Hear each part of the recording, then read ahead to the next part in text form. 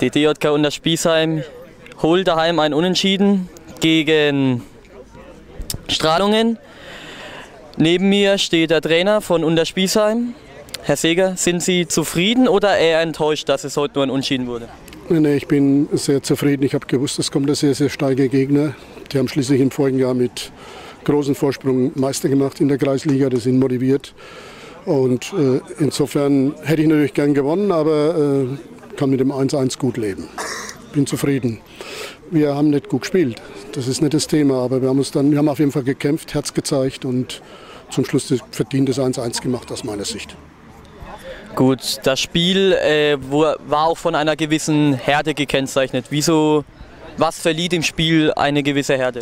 Ja, gut, es ist der Beginn der Runde. Man will Punkte machen. Hart, hart war es, ja, aber nicht richtig unfair. Es war halt richtig, richtig intensiv. Ja, und so muss man spielen in der Bezirksliga. Und der Gegner spielt eben auch so.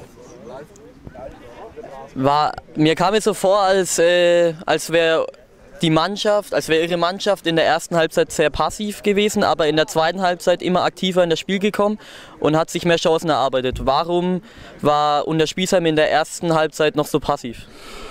Das kann ich leider nicht beantworten. Das war im vorigen Jahr schon immer so, dass wir lange brauchen, um ins Spiel zu kommen. Der Gegner hat uns ein bisschen überrascht mit seiner Spielstärke, muss ich sagen. Und in der zweiten Halbzeit haben wir dann eben mehr riskiert und äh, vor allen Dingen auch ganz bewusst die Zweikämpfe gesucht und, und auch über Herz und über Kampf versucht, das Spiel zu drehen. Was muss sich jetzt im Hinblick auf das Heimspiel gegen Geesdorf am Sonntag ändern? Ja, wir müssen halt gleich ins Spiel kommen, müssen versuchen, sicherer und mehr am Ball zu bleiben ja, und den gleichen Einsatz und die gleiche, die gleiche Mentalität zu zeigen, dann werden wir da nicht verlieren. Das ist das Ziel. Dann bedanke ich mich für das Interview und viel Glück am Sonntag. Danke, danke.